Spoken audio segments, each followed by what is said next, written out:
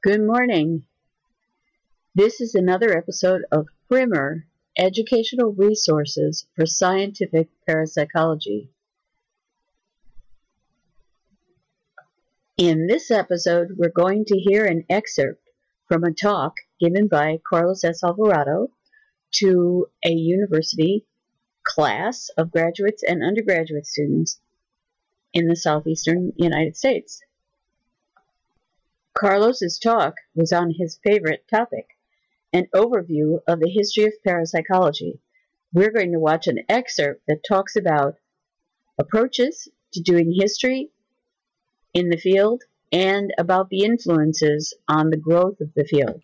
When we get into the history of parapsychology, as you can see in these slides, there are different approaches, different emphasis in the history. And I'm not going to go into much detail here, just to point out, you know, that that in every field, and psychology is no exception, uh, history tends to be written by two different types of people. One by psychologists themselves, and the other by professional historians.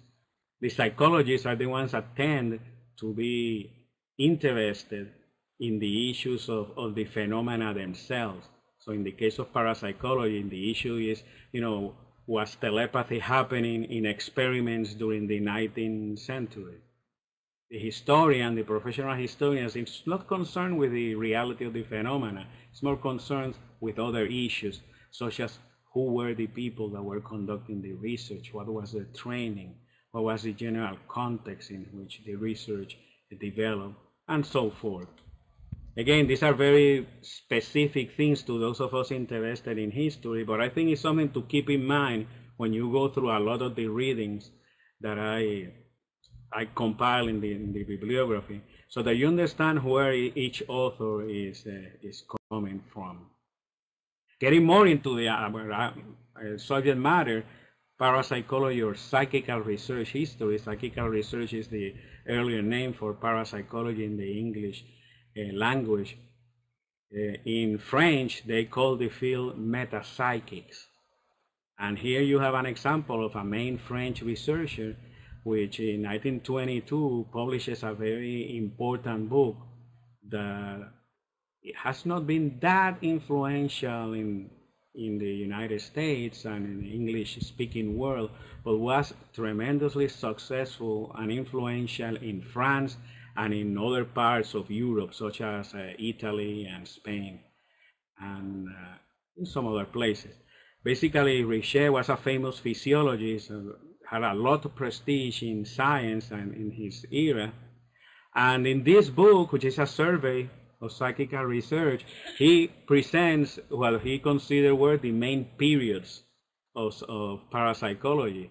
And we still generally think along these, these uh, lines.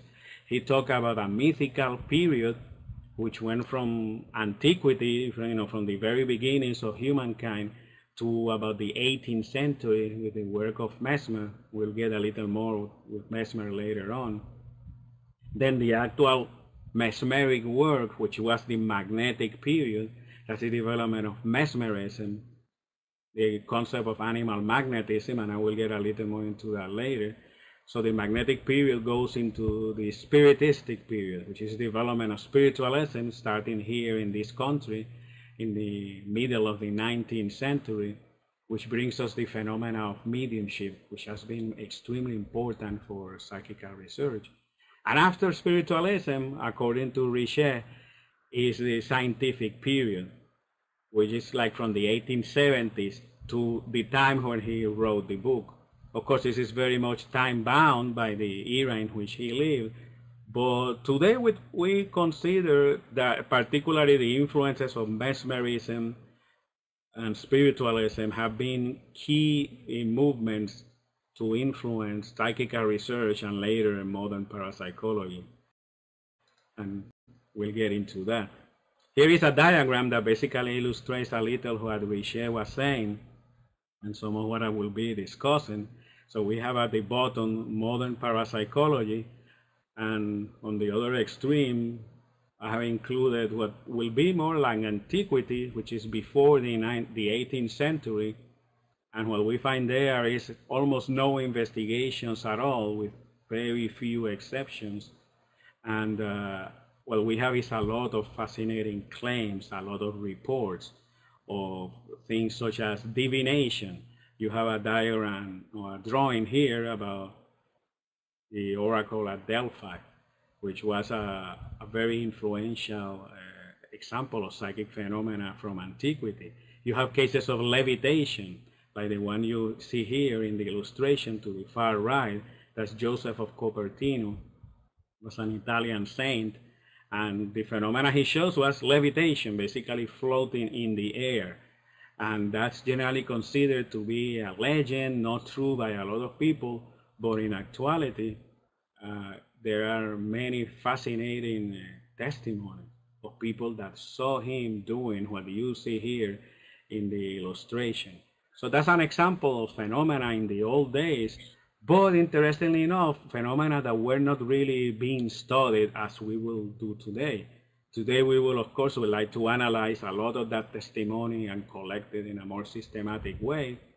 And uh, we, of course, will try to, to photograph, to film the phenomena, to do all, all kinds of things to learn about uh, what is happening. But in those days, it was, of course, uh, the influence of God, and they saw it as a sign of that the guy was a saint and, and most of the phenomena from antiquity, that's the way that they were seen. They were examples of divine intervention. Okay, so th then, well, we here have the period of mesmerism, spiritualism, psychical research, but in between there are a lot of other movements and a lot of interactions of different ideas that influence what we have been thinking or we were thinking at the time about psychic phenomena and the, in the extreme left by the bottom, you'll see psychology and psychiatry, the development of the idea of the subconscious mind, the study of dissociative pathology, automatisms, and many other psychological uh, phenomena. The point of this diagram is just to show that these are very complex interaction of movements, ideas, uh, phenomena that eventually develop into what we call uh, parapsychology today.